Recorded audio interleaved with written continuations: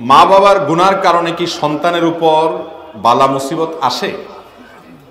মা বাবা যদি কোনো পাপ করে, কোনো অপরাধ করে, কোনো অন্যায় করে, যত খারাপ কাজই হোক না কেন, এর জন্য সন্তানের উপরে কোনো দায় দায়িত্ব, বিশেষ করে ওই পাপের প্রায়শ্চিত্ত শাস্তি সন্তানকে কখনো ভোগ করতে হয় না, হবে না। কারণ আল্লাহ রব্বুল আলমীর কাছে কোনো জোলম বলতে কিছু নেই। আল্লাহ তালা কোরআনে কারিমে বলেছেন ও আল্লাহ ভিজরা দুনিয়ার কোন কেউ একজন আরেকজনের পাপের বোঝা বহন করবে না। আল্লাহ আরও বলেছেন ও আল্লাহ সালিল ইনসান ইল্লা মানুষ নিজের জন্য যা করবে, সে ওইটার বিনিময় পাবে। আরেকজনে কি করল নেকামল সেটা সে পাবে না। এজন্য কোনো বাপ খারাপ দেখে সন্তানকে খারাপ বলা যাবে না। আমাদের সমাজে দেখবেন, একটা বাপ কথার কথা চুরি করছে। হয়তো কোনো একটা আকাম করছে। বাপ তো পরের কথা অনেক সময় ভাই দূর খারাপ কিছু করছে। তো দেখা যায় ওইটার জন্য ভাইকে ভৎসনা করা হয়। ছেলেকে মানুষ দোষারোপ করে, তার সাথে মানুষ খারাপ আচরণ করে, আছে না নাই? বাপের দোষে কখনো সন্তান দোষী হয় না, আবার সন্তানের দোষেও কখনো বাপ দোষী হয় না। যার যার দোষ তাকে পাবে। এই জন্য একজনের দোষের কারণে আরেকজনকে লজ্জা দেওয়া, আরেকজনের প্রতি অবিচার করা, জোলম করা, কোণঠাসা করা, সামাজিকভাবে তাকে হেয় প্রতিপন্ন করা, এগুলো গুনাহের কথা। গ্রামাঞ্চলে এগুলো অহরহ হয়ে থাকে।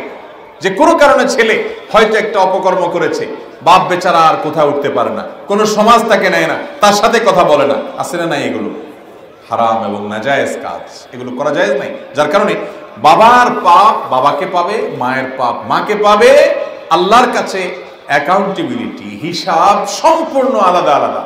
যার যারটা তার তার। অতএব সন্তানের পাপে বাপেকে, এই এক বাপকে পাবে না, বাপের পাপেও সন্তানকে পাবে না। তবে হ্যাঁ কিছু কিছু কর্মফল আছে। বাপ যেরকম খারাপ যদি পথে ছেলেকে পরিচালিত করে, তো তার ফল খারাপ হয়। সেটা ভিন্ন বিষয়। কিন্তু পাপের যে শাস্তি, সেটা কখনো একজন আরেকজনেরটা পাবে না। আমি এক মেয়ের সাথে খারাপ সম্পর্কে লিপ্ত আছি। তা আমার ওই মেয়ের পরিবার উভয় জানে। আমি ওই মেয়ের সাথে প্রায় সময় রাত কাটাই। আমি তো গুনাহের মধ্যে লিপ্ত আছি। আমার বাবা মা সবাই জানে। এখন কথা হচ্ছে আমার ও বাবা ও আমার পরিবার সবাই কি পরিমাণ গুনার মধ্যে ডুবে আছে, একটু বিস্তারিত আলোচনা চাই। দেখুন, এই প্রশ্ন যিনি করেছেন, আমি জানি না তিনি বুঝে করেছেন, নাকি এ সম্পর্কে তার আসলেই কোনো ধারণা নাই। আজ আমাদের এই সমাজের যে ব্যাধিটা, মহামারীর মতো সকল ঘরে ঘরে ছেড়ে ছড়ায় গেছে এই ব্যাধিগুলোর ভিতরে একটা হলো এই জেনার ব্যাধি। এত ভয়াবহ, এত ডেঞ্জারাস যে এটা থেকে মুক্ত মানুষ পাওয়া যায় না। মনে রাখবেন, যুবক ভাইয়েরা, এই তারুণ্য এবং যৌবনকাল অন টাইম জীবনে একবার আসবে, আর আসবে না। কালি লাগাই ফেলছেন, এটাকে রিমুভ করে নতুন করে শুরু করতে পারেন। কিন্তু যদি এর মধ্যে ডুবে থাকেন, তো আপনি নিশ্চিত থাকতে পারেন। আল্লাহ রব্বুল আলমিন দুনিয়াতেই আপনার জন্য আপনাকে এর জন্য প্রায়শ্চিত্ত করাবেন, আখেরাতে তো আছেই।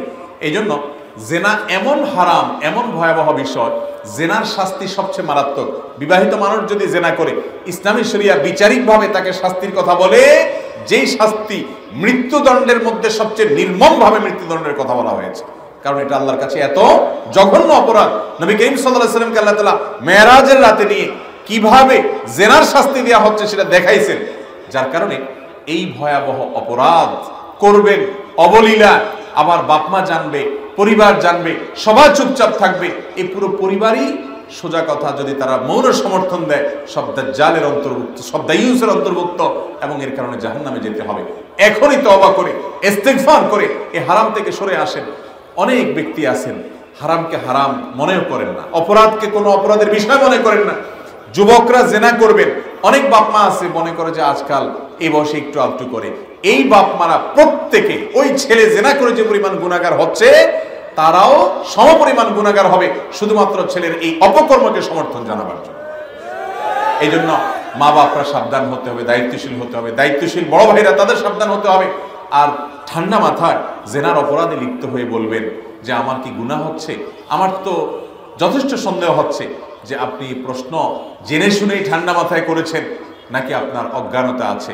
কারণ জেনা যে হারাম, এটা জানা না এমন কোন মুসলমান বাংলাদেশে অন্তত থাকার কথা শুধু হারাম হচ্ছে তা নয়, হারামকে যদি কেউ হারাম মনে না করে, হালাল মনে করে, এটা অত্যন্ত ডেঞ্জারাস এটা কুফুরি পর্যন্ত চলে যেতে পারে। আল্লাহ তালা আপনাকে হারাম থেকে ফিরে আসার তৌফিক দান করুন, সৎ সাহস দান করুন, বিয়ে করে ফেলুন এবং বিয়ের দিকে অগ্রসর হন, জেনার পথ থেকে সরে আসুন।